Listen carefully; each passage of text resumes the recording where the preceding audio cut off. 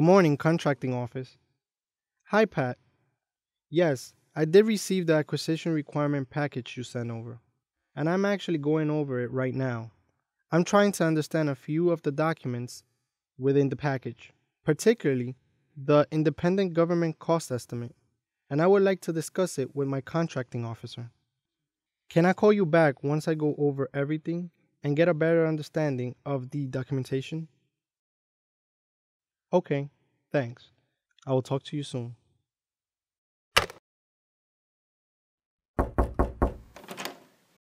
Good morning, Jack. I received a call from a customer who wanted to go over the requirement package. I had a few questions first, and I was wondering if you have some time to discuss the Independent Government Cost Estimate, or IGCE. Good morning, Michael. Sure, I have some time. Come on in and have a seat.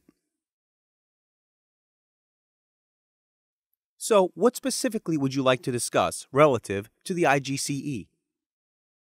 Well, as you know, I'm new to contracting, so there are some things I'm still learning. I know the IGCE is the government's independent estimate for the costs associated with the requirement, but I'd like to know a little more. Specifically, I want to know what to look for, such as the elements of the IGCE, how I can assist the customer so they know how to prepare it, and its purpose in the acquisition process. If you can provide some references for me, that will be helpful as well. Of course, I'll go over the IGCE with you. To begin, let's talk about exactly what the IGCE is.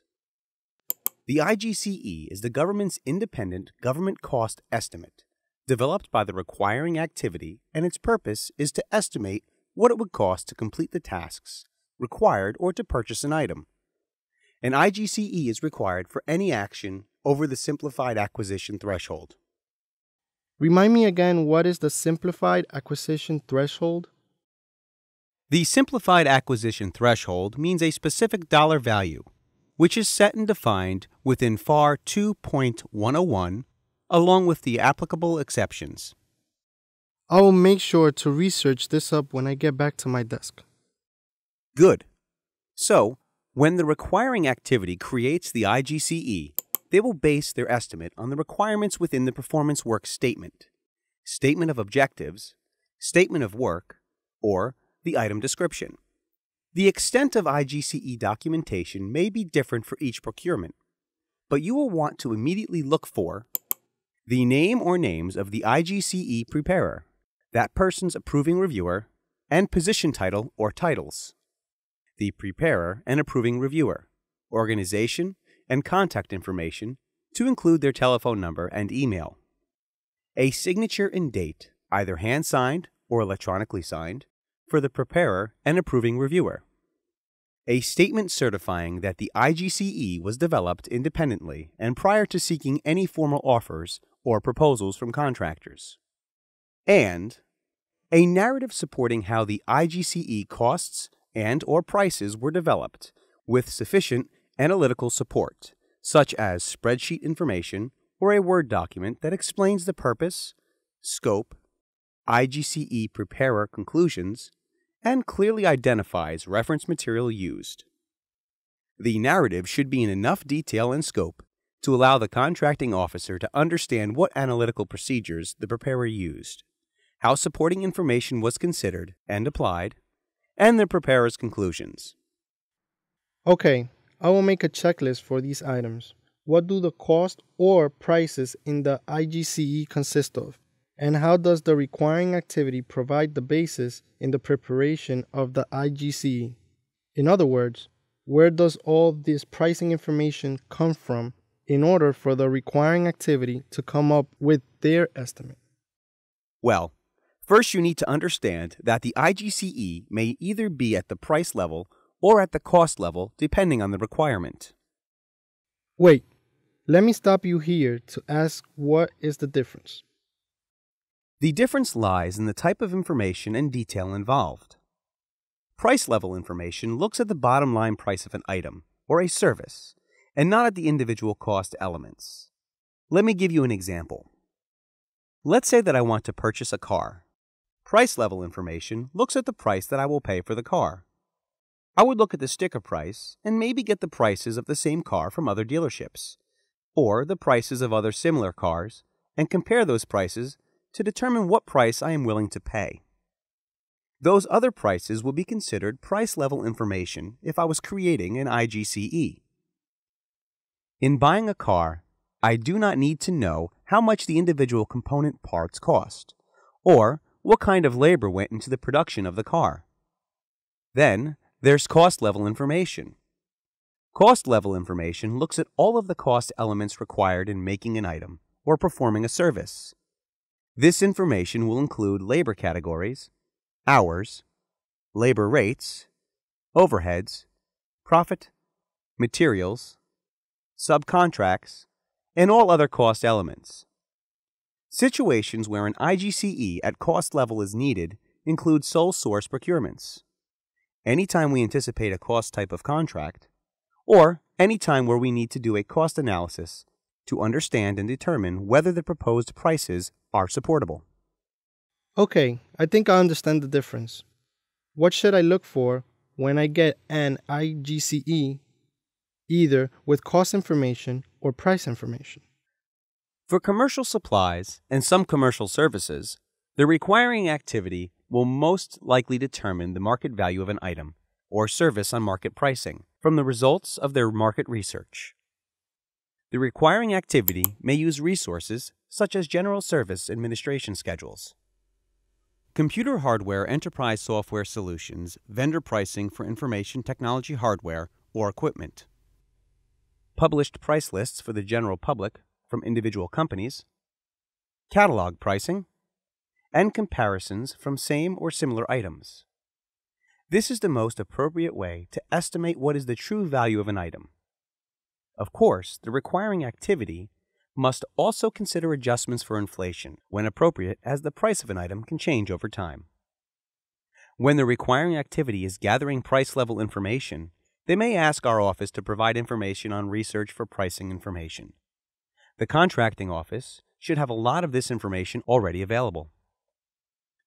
For price information, the IGCE documentation may include prices and quotes, such as published or current catalog prices, market surveys and other sources of pricing information, previous prices and quantity purchased. Analytical methods used to calculate prices, and quantity of items to purchase. IGCEs at cost level provide a breakdown of all costs anticipated in the performance of the contract.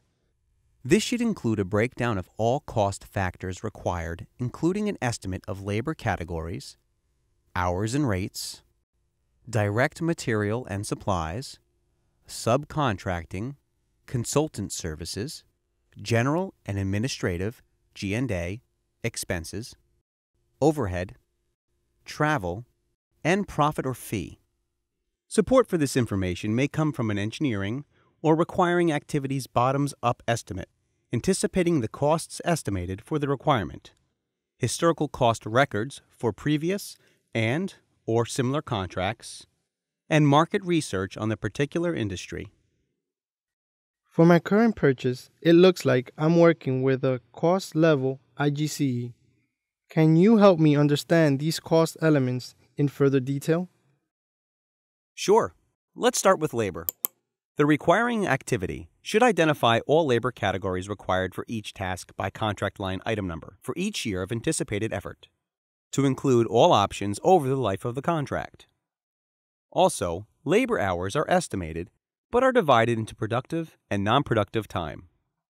Productive time, sometimes called full time equivalent or FTE, is time the worker spends actually performing their duties.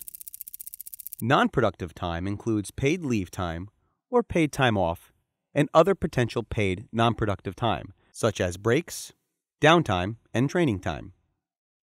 IGCEs need to identify the estimated productive and non productive time in addition, the requiring activity should also consider Service Contract Act area wage determinations, which usually mandate a minimum amount of time for holidays, normally 10 federal holidays and vacation and personal leave.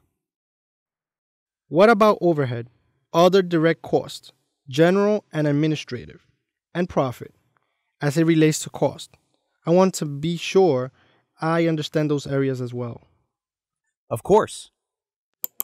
Overhead costs are indirect costs related to support of specific operations.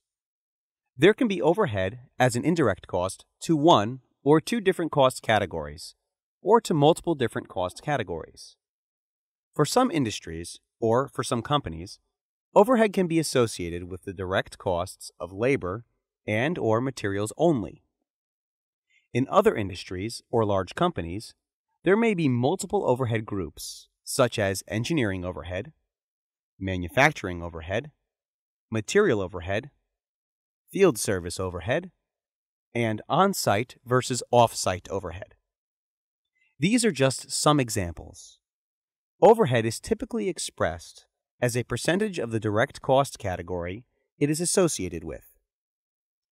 The other direct cost or ODC category may include estimates of the types and quantity of material, equipment, and travel estimated to perform the requirements within the PWS.